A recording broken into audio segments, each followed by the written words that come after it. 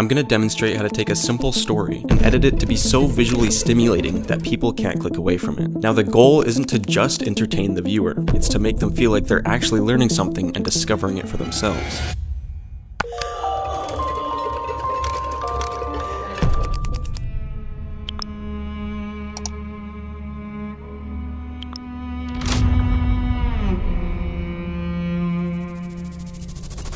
We will be diving a little bit deeper into ideation and how to come up with high level concepts every time. So let's say that our subject was talking about an airplane. I can simply search something like airplane investigation scene. As you can see, here's a super cinematic reference we can use. So when we're collecting our assets, we can come back to this for reference. So I just searched jet model airplane and then I found this image and I cut it out in Canva. You can use whatever tool you want. And then I searched airplane crash newspaper and I just saved this image. And then I searched airplane journal World War II and I took this image right here. I searched airplane blueprint and I took this image here, kind of the main image. And I just wanted one more prop, so I searched weather airplane card World War II and I took these playing cards. And then inside of Canva, I just removed the background. I added this sticky note and some text and then I save this as an image. Now, before we jump into DaVinci, there's a new AI tool I wanted to show you. It's called Mago, and they're the sponsor of today's video. It specializes in video to video, and I was especially amazed with the VFX I was able to create with it. What interests me is you stay in full control.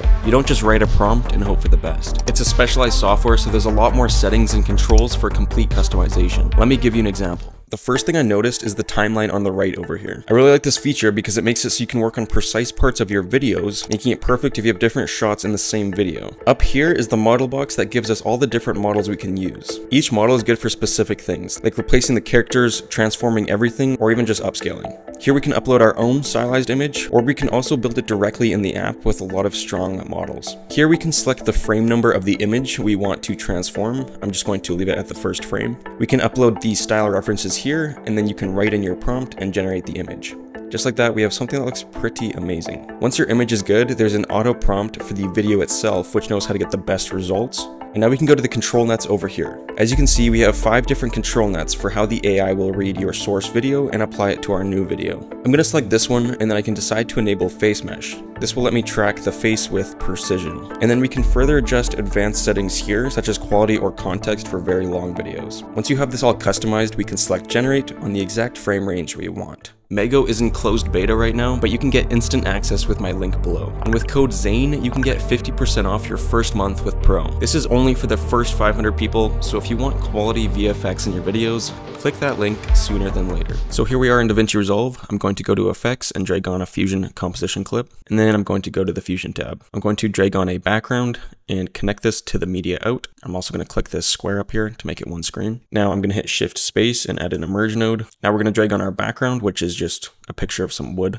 I'm going to hit shift space and add in a transform node, and then we can just size this up to the full screen. So as you can see, it's a little bit bright. So I'm just going to drag on a background and connect it to the media in one. And then I'm going to drag down the alpha. And so now we can always come back to our reference and kind of see how we want to map things out. And so I'm going to start with this main picture here. And I'm going to drag in our picture just like this and connect it to the merge. Now I'm going to hit shift space and add in a transform. And then we can just size this up a little bit like that. And I'm also going to tilt the angle slightly like that. Hit shift space and add in a drop shadow just like this. And now we have to decide where we want our light to come from. So in this case, I think the light should be coming from this corner. So all of our objects will have a shadow on this side. I'm going to drag down the drop distance a little bit because the further the drop distance is, the higher the paper is sitting. We want it really close to the table. So pretty close like that. And then we can just turn up the shadow strength a little bit like that. Now our reference, as you can see, we have kind of a book here. So I'm going to select the merge, hit shift space, add in another merge. And I'm going to select this book I found and connect it to that merge. Again, I'm going to hit shift space and add in transform. We're going to size this book down and drag it off screen a little bit, kind of like this, and then rotate the book this way. Hit shift space and add in a drop shadow. Do the same thing. We're going to increase the strength and decrease the drop distance. I'm going to add in another merge and I'm going to drag this page I found onto that merge. Add in a transform, size this down a little bit and bring it on top of this page. Now again, if something looks too bright, we can drag on a background onto our media in one and turn down the alpha. This will also help it blend in with the page a little bit. And then again, I'm going to select the media in one, hit shift space and add in a drop shadow. And at this point, if your scene doesn't look cinematic, that's not a problem. Um, again, this is just the early stages. Once we add the effects, everything looks amazing. So I think for this other page, I'm going to add the deck of cards here with a piece of writing. So we're going to add another emergent, bring in this deck of cards, add in a transform, and then play with the angle, add in a drop shadow. Now for the text, we can add in another merge, and we're going to drag this text node on and connect it to that merge. We can just type in something random like this, and then I'm going to change the font to something like Sign Painter, just so it looks like handwriting. Kind of a choose a dark brown, just like that. And then we can hit Shift Space and add in a transform underneath our text. And we can just bring this down like this, and then rotate it. Now we have something that looks like this. I'm going to drag in my model airplane, connect it to the merge, add in a transform, and then rotate it like this. I think that spot will work. We're going to add in a drop shadow. This time we're going to drag the drop distance up because it's higher off the ground than the paper. Again, I'm going to add in another merge and bring in our book just like this and bring it to this top corner, something like that. And then add in a drop shadow, drag in our newspaper and connect it to that merge. And then you can just kind of play around different spots, whatever looks best. I think I might try putting a background on this one, connecting it and then dragging the alpha slightly down. I'm also going to go back to our first one, which is our main one, and then further play around. I think I'm going to drag it down a little bit so we have room for a title up here. Now I'm going to add a widget up here with the date of whatever is happening here, just to make it seem a little bit more informational. So to do that, I'm going to add in a merge node. I'm going to connect a background to that, select the rectangle mask, turn the height and the width down, add in a transform, and then we can just bring this up here like that. The rectangle selected, I'm going to turn up the corner radius a little bit, just like that. The background selected, I'm going to drag down the alpha slightly, and then I'm going to add in this SM outline effect in between the background and the transform. And as you can see, it's just going to give me an outer edge. Uh, I linked this in the description with all the assets. Now, underneath the SM outline, I'm going to add in a drop shadow. I think I'm going to change the angle to match this angle here. Now I'm going to hit shift space and search PJT and I'm going to select the letter zoom in. All of these text animations are in the description. So I'm going to add that in and then connect it to this merge. So I'll write the date just like that. I'm going to change the font to an older looking font like that. And then with the transform selected, I'm going to place this inside of the box. And now, as you can see, if we go to the first frame, it writes out like that and it looks pretty nice. So now we can add in our magnifying glass effect. So to do that, we're going to select this merge and hit shift space and add in a transform node. This is going to control how zoomed in the effect is. And then on top of that, we're going to add an ellipse mask just like this, and we're going to connect that to the transform. So we're going to select the ellipse and we're going to make it smaller. So something like 0.15, and I can copy that and paste it on the height.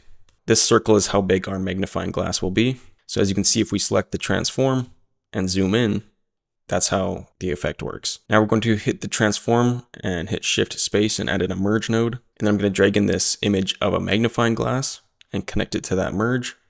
And I'm going to hit shift space and add in a transform. And we're just going to size this down and match it to the circle of the ellipse. So as you can see, when we select our ellipse and drag it, it doesn't match what's directly underneath it. So what we need to do is match the center X with the transform pivot point. So how we do that is we select the ellipse and then we're going to select this pin, which means this will stay here. So look, when we select the transform, as you can see, we select the pin, so it stayed here. So first I'm just gonna disable that for a second. And so if we select the transform and right click the pivot and hit expression, it's gonna add in this plus. And if we drag this to the center of the center X like this, and so what that did is basically when we select our ellipse here, um, it's going to follow the movement to the pivot, like the center of it. So now wherever we move it, it's directly underneath it. So now if we reconnect our transform to the merge here, we want to basically have this magnifying glass also follow the ellipse when we move it. As you can see right now, it's not following when we drag the ellipse. So again, we have the ellipse pinned, so it's going to stay there. So we're going to select the merge, and again, on the center X and Y, we're going to right click and then select expression. And then again, we're going to select this point, click and drag, and bring it to the center X right here. And so now I'm just gonna select the transform and readjust it on top like that. Now if we select the ellipse, you can see that everything follows. And so now what I'm gonna do is add some distortion to this lens here. And so I'm going to select the transform, hit shift space and add in the dent node, just like that. And I'm just going to drag our magnifying glass to the center here. And then I'm going to select our dent and drag the size down. Now I'm going to select the type as dent 2 and then we can play around with the strength. So I'm just gonna go with something like 0.05. Now you can see it has some distortion. But again, if we select the ellipse and move it, the distortion doesn't follow it. So I'm gonna hit Command Z. And with the dent selected, I'm going to right click the center again and select expression. And then same thing, click and drag to center X. So now as you can see, you can play around with it. So now what we can do is animate this magnifying glass. So we can go to frame one, select the ellipse, and drag it down we're going to keyframe center X and Y position, just like that. Now, whatever we come to, so maybe frame 60, which is like two seconds, it maybe travels all the way over to here. Now we can go another two seconds, which would be frame 120, and then we can just drag it over to this newspaper like this. Now, one thing I forgot to do quickly is select this transform, which is the magnifying glass, and hit shift space, and we're going to add a drop shadow on it. And now as you can see, we have a shadow casting off it just like that.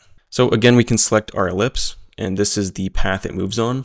And so if we zoom in and select this point here, we can select this curve up here, and now the animation will be less harsh. And as you can see with these lines here, we can adjust it further. So we're going to select our spline and select the ellipse, and we can smooth out our animation. So I'm going to select this and press S, and then select this one and press S as well. And I'm going to bring this one up like this and this one down like this. Now it'll now it will stay at this point a little bit longer. As you can see, it kind of slows down there and then goes back to here. I'm going to make sure I select settings, turn on motion blur for this magnifying glass. Now back in the edit page, we're going to add some effects on this to make it a lot more cinematic. So I'm going to select effects here and drag on adjustment clip.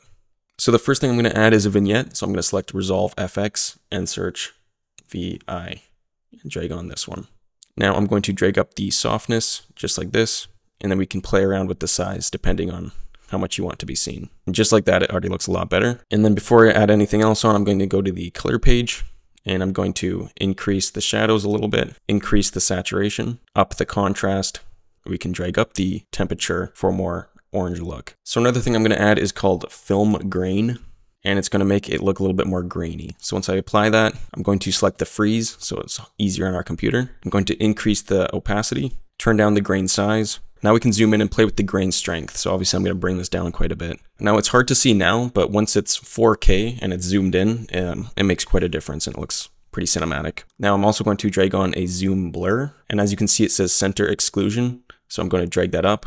And when, and then when you drag up the zoom amount, you can see that the edges of the image are more blurry and it creates kind of like a camera film effect. It's pretty nice. Now I'm also going to add a camera shake to the adjustment clip just like that. I'm going to turn the randomness scale all the way down. And I'm going to bring the PTR speed to 0.04, which is just a slow camera shake, so it's not too distracting. So now we can animate the adjustment clip itself to kind of follow the magnifying glass. So on the first frame here, I'm going to zoom in and drag this down, something like this. And I'm going to keyframe the position. Now I'm going to go over however many keyframes for it to reach its destination. So kind of right here is where it kind of ends up. So I can take my position X and Y and then drag my camera up to that position. And then again, I can go over to here. And then again, I'm just going to drag my camera down. Now I'm going to go to my keyframes and select this up here. I can select all of position Y here. I'm going to select ease in and out. And then I'm going to do the same with position X. Select ease in and out. And now, as you can see, when we play it, the camera kind of follows the magnifying glass a little bit more.